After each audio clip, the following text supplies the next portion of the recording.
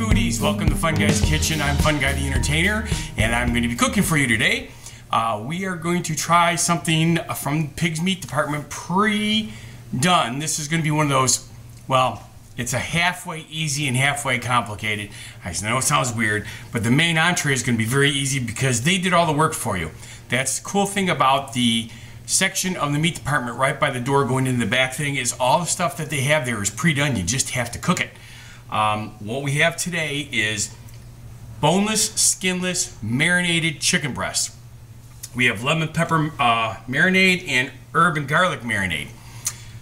All you really need to do is cook a pasta dish or a potato dish and vegetables and put this in the oven and you have a whole meal. Uh, so what we what you need is a 13 by 9 pan, not the lasagna pan this time because it's only the four pieces. You can put aluminum foil in it, you can spray it. I actually did both. One of the things I learned about chicken breast a long time ago is sometimes the aluminum foil will stick to the bottom. And if you get aluminum foil and a, a filling in your mouth, not a pleasant experience. Uh, so I sprayed olive oil on the foil because you want a little bit of olive oil flavor in the meat anyway. So we got these at the pig today. They, of course, put this and marinated it, and then it's all ready to go. So you don't have to do much except put it in the pan. So let's open this up. Just like this. And do the same with the other one.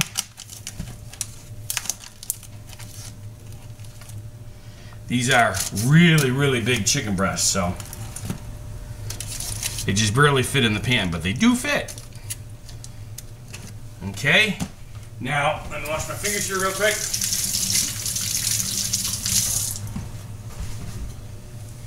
If there's any extra juice, pour it on top of the chicken in the pan. There was a little bit more on the uh, lemon pepper marinade, almost nothing on the herb garlic, but that's okay. So that's ready. And then cover it with another piece of aluminum foil. And I did it again. I forgot to say right off the bat, preheat your oven to 400 degrees. Okay. This is it. Now all we have to do when the oven's preheated, it's almost there now, but uh, I'm, you know, uh, you stick it in the oven, set the timer for 25 minutes, and have your meat thermometer ready. Remember, cooking chicken, it has to be 165 degrees, but if you get on chicken breast especially, if you get too much over that, if you start pushing at 175, the breast become very, very dry very quickly. So um, 165, uh, you know, you see my thermometer, I'll have it ready for once we do this. So you set the timer for uh, 25 minutes to check it and go from there. You will need stuff to go with this. What I'm going to do today is I'm going to do a, um, boy, it's hard to explain. I found um, Preg, actually, hang on a second, I'll show you. Prego has an Italian sauce that's called creamy vodka. I suppose I could do this way too, creamy vodka. I want to try this. I'm going to take a bag of wide egg noodles, cook them up just plain noodles, heat this up in a pan, pour it over the noodles, and then put the chicken on top of the noodles. And then I'm going to have my, you know, famous uh, pan-fried asparagus on the side. That's going to be the meal today. Really cool, but obviously this show is about the chicken. When the pig, oh, don't forget, Piggy from Steinbrink's Piggly Wiggly. Um, they're the ones who, who uh, sponsor the show. We are looking for a cooking sponsor. Um, I'd like to try to get one of those uh, cast iron companies too, because uh, I want I got a whole bunch of recipes that work so much better with cast iron. So uh, I'm working on that see if we can't get that going. So, um, but basically, put this in the oven, do the test, and we'll go from there. All right, we'll see you in a little bit. All right, Fun Guys Foodies, we're back. The timer's about ready to go off. I've already started getting my water hot um, in case the, the chicken's done already. Uh, I got my asparagus ready because asparagus only takes 10 minutes. I'm pretty sure we're gonna need a little bit more time on the chicken because they were big pieces of chicken. The normal cooking time is between 30 and 40 minutes, but since you don't want it overcooked, you pull it out at the 25 minutes to check the temperature. Um, so I've got everything ready to go to finish up my dinner. Um, so let's see, the timer should be going off any second. Well, it's going off in 40 seconds, so we'll take out because really 40 seconds isn't that big of a deal. So let's take this out. Remember, it's hot and it's going to steam a little bit, so when you open it up, make sure you're not leaning over the pan. Yeah, that does not look done. Not even close, actually, so let's look at this. I have absolutely no idea how that could be 170 degrees when I'm still seeing pink chicken. Chicken should never be pink. Let's see what this one says. See, uh, this one's 181. Now this one's cold. This one's only 68 degrees. That is very confusing. All right, now if we do it this way, it's only 41. So like I said, I was pretty sure this was not done.